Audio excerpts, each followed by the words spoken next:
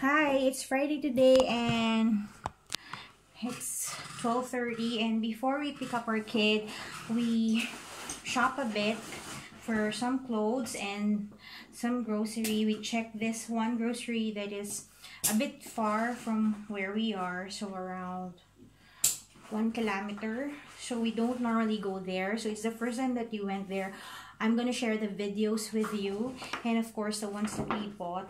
So for the for the clothes, uh, we always buy in this um UK clothing. So it's not really used clothes, but they are more of the um, items from uh, uh, department stores that were not bought. Know, little may mga overruns ng kaunti. And don't mind because really the quality is really good. Okay, so we bought everything for 80 zlote. I just forgot to get the receipt from Ernest. But these are all the items that include that is included in that 80 zlote. So 80 times 12, wala pang 1,000, no? 960. So this already includes this for Erin. And this is a Harry Potter M&S, so Mark, Marks and Spencer na na sweater. And then, ito, ito mga brand yun naman. So, it's getting really cold here. So, we're starting. so, kompleto. Gusto ko lang sana yung purple and pink, but it already includes the black one. So, that's okay. So, also includes this shoe na merong ganyan. So, gusto talaga ng asawa kong bili si Erin. So, that's already included. This is actually just 8 zlote. So, can you believe that's not even 120 pesos? Mga 100 pesos. Not bad, right? Then, this one. So, marami akong ganitong clothes. Pero pag lumalabas, nilalamig talaga yung leg ko. So, I have to put on pa scarf. So, I realized that I'd rather have, yan, mga turtleneck Um, I have lots of this in the Philippines, but they are there, so I cannot use it. I have also, and normally it's maninipis, no? Kasi ito talaga makapal, yung talagang pagpapawisan ka. Also bought this for Erin. Ayan. Kasi mahilig siya sa blue. And I realized na yung mga long sleeves niya manipis. So, ang ginagawa ko, pinapatuan ko pa ng shirt. So, I thought, ah, okay na yun for autumn. But, you know, so what more pa sa winter. So, we have experienced 7 degrees and 6 so far. Today, I think it will be 4 eh. So, ayan. So, bumili ako talaga ng maraming sweat, ng maraming turtleneck. Di naman marami, dalawa lang. So that's already included again in the 80s bote total. Wait, there's more. I bought this also. So again for Erin. Para when she goes to school, when we walk, I put uh, the winter jacket on her. But pagdating sa school, sobrang init naman. So, ito lang. Sa, so, yan. yan. And this is, yeah, ayun. Kasi nagdo-doble-doble na kami ngayon. So, normally, may, meron kami sa ilalim ng pants or ng, ng jeans, ano. So, that's one for me. And this is for me also. This is 16 zlote, but it's. Primark yung tatak niya. Yung isa is, ano ba tatak nito? George. George yung tatak niya. Then, wait, there's more. dami namin nabili. So, this one is malaking pants for me. Pero lagi akong sure na merong ganito. Yan. So, pero kasi ang laki na talaga ng mga hita ko tsaka binti ko. So, this is next. Yan. So, yan. Kasi pag lumalabas, tapos yung mga pants ko, bitin na, kahit konting-konti lang yung skin na nakikita or nakalabas, malamig. So, wait, there's more. Ito, so binili ko rin. Pag, para pag movie. Ayan, yan. So, normally kasi, okay na kami, meron na kaming mga jacket na waterproof tapos may hood. Pero yung sa loob, dapat may ganito ka para kahit malamig, masarap. Tsaka, ang sarap talaga ng mga fluffy, fluffy, furry, furry, pet na pet. And then, this pants, ang ganda nito. Aray ko. Itong pants na to ay for honey, 16 zuwote lang.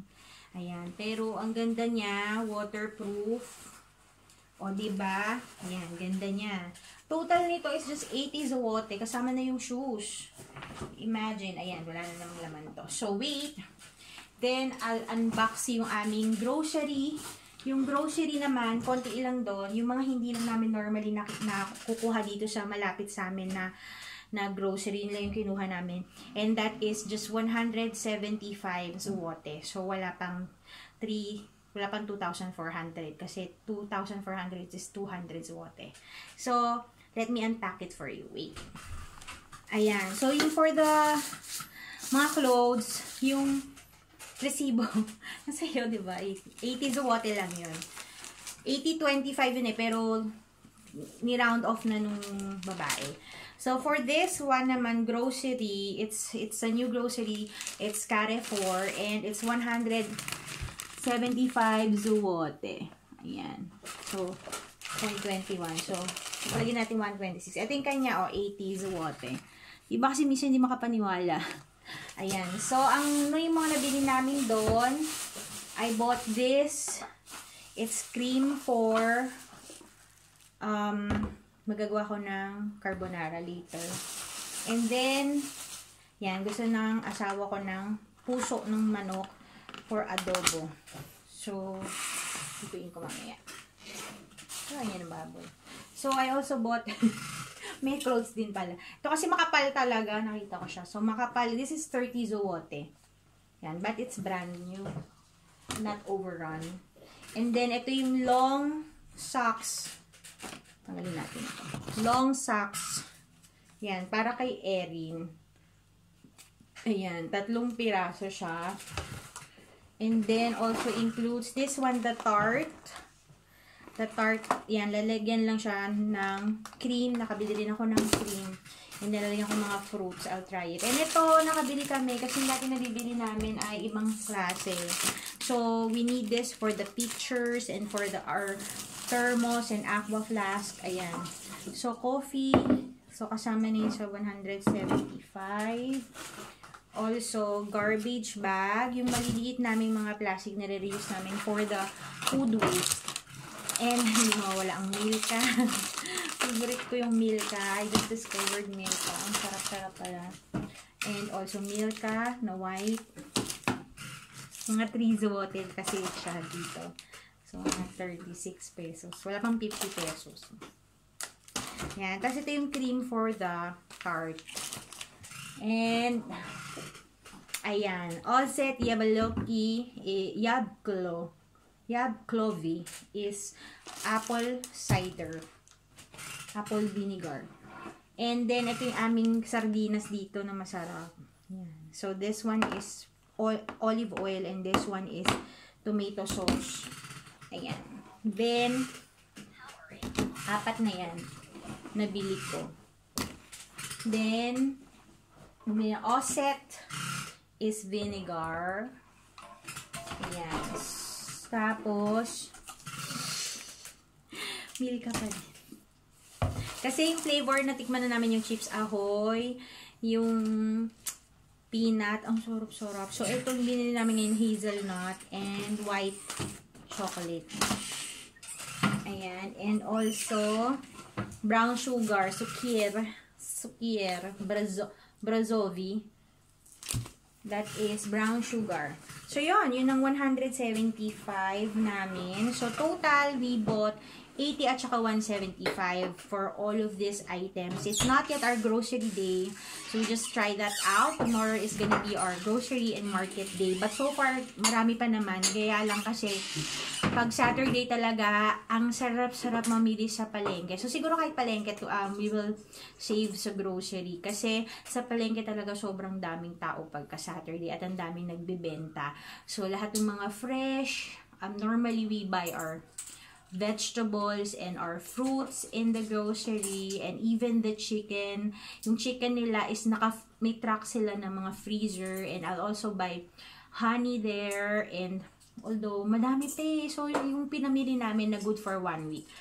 Sumusobra pa siya talaga. So may, minsan may mga midweek kami na na bili just to replenish ano. So so far from uh, our five weeks experience here, 3,000 is enough for one week for a family of three. O, di ba, bongga? Although kami kasi talaga, marami kami binibili na extra because yun nga, nawala yung baggage, na, na-delay yung baggage namin, so bumili kami ng mga damit. And of course, we did not bring a lot of clothes here because limited naman yung pwede, no? And mabibigat talaga yung mga jacket. And, yun, so basically, our conclusion talaga is that it's really inexpensive here surprisingly more inexpensive than in the Philippines for the quality uh, when it comes to clothes and uh, food ano. And also because the water is free potable yung nasa nasa uh, faucet ano straight drinking. So and also even if we eat in the restaurant so